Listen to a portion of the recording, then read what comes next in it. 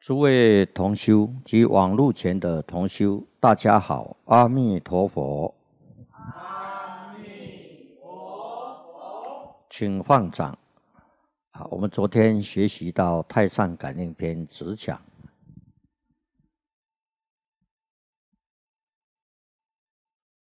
轻慢先灵，违逆赏命。那么这个轻慢先灵啊，是对祖先的不敬。啊，那现在呢？啊，在台湾呐，啊，有很多人呐，啊，不但呐轻慢，啊，他还不认同祖宗啊，啊，这个《地藏经》讲啊，不孝父母啊，啊，或自杀害啊，当堕无间地狱啊。那么这一条是不孝、不敬啊，那么违逆上命啊。那么对祖宗都父母都不孝不敬了，那他他对他的上面的领导他还会尊敬吗？啊，也不会啊，啊，所以这个是必然的嘛，啊，必然是违背叛逆啊，上面的领导嘛，啊，所以我们祖宗讲啊，忠臣出于孝子之家嘛。对父母能孝顺，他对国家就能尽忠。啊，对父母不能孝顺，那他怎么可能对领导尽忠？啊，这是不可能的事情。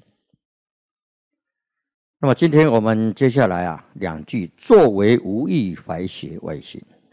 啊，这个作为啊，就所作所为，无益就是没有利益的事情。啊，那么我们人生在世啊，啊，这个时间不长，啊，人生不过百年呐。那么把这个光阴啊浪费在作为无益这些事情上面，那就是浪费生命了，糟蹋生命了。所以我们现在呢，今年。十天的假期，那么十天的假期我们要做什么？啊，我们要做一些有意义、有利益自己、自己家庭、利益社会大众的事情，啊，还是做一些啊没有利益的事情，反而啊有害的事情。那什么是有害呢？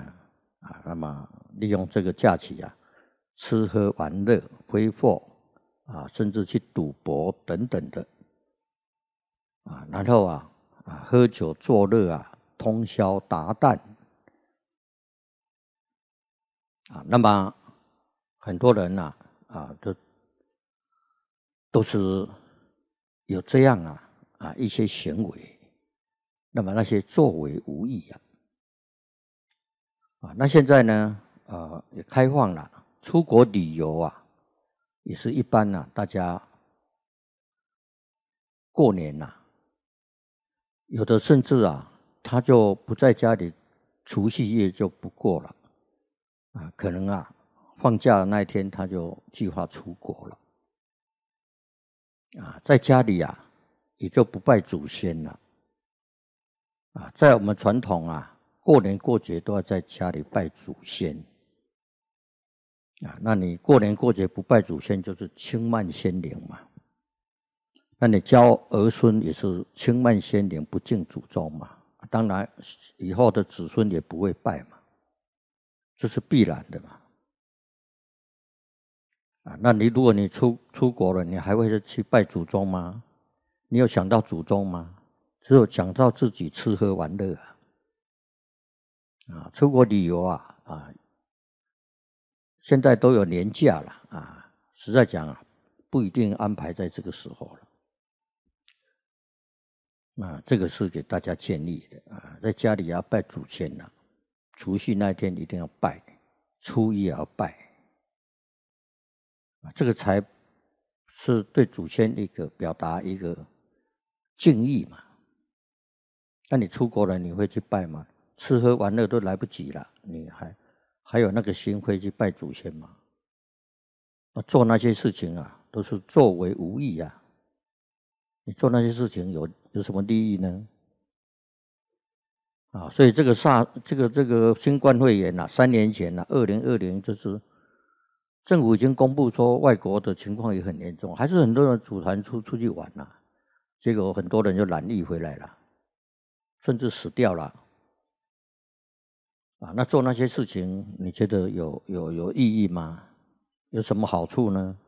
啊，花钱啊，冒着生命危险，这个就是作为无益了。所作所为那没有利益的事情嘛，对自己本身、对自己家庭、对社会、对国家、对整个世界都没有利益。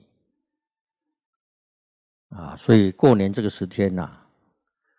呼吁大家啊，做一些有意义的事情，积功累德了啊！将来啊，你有福报啊，做一些无意义的事情啊，那失过之神呢，记过了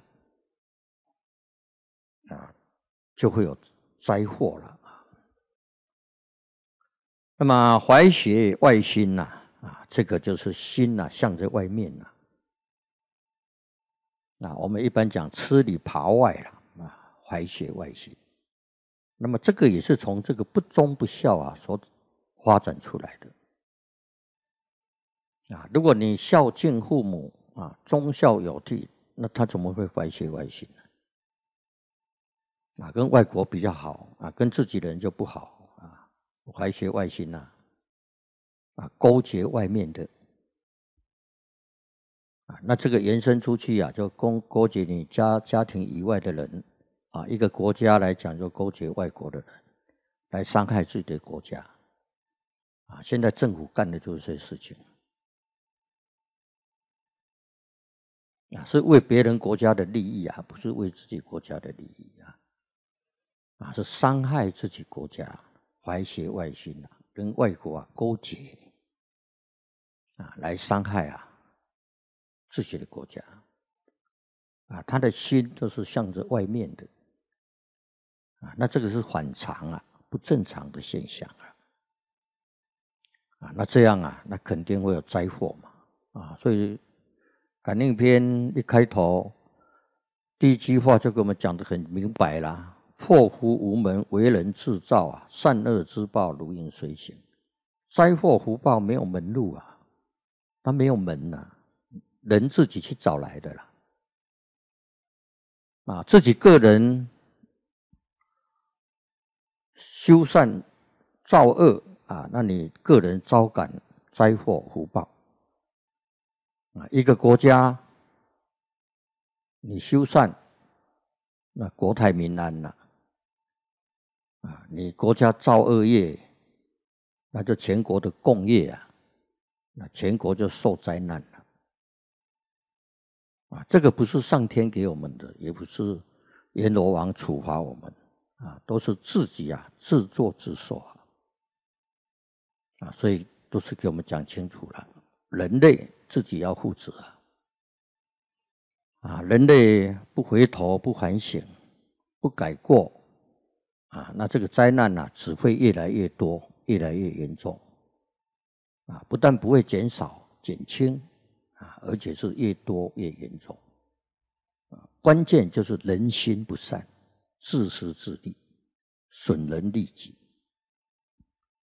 啊，贪嗔痴慢啊，这些烦恼所造成的灾祸了，一定要明白。好，今天就跟大家分享到这里，祝大家福慧增长，法喜充满，阿弥陀佛。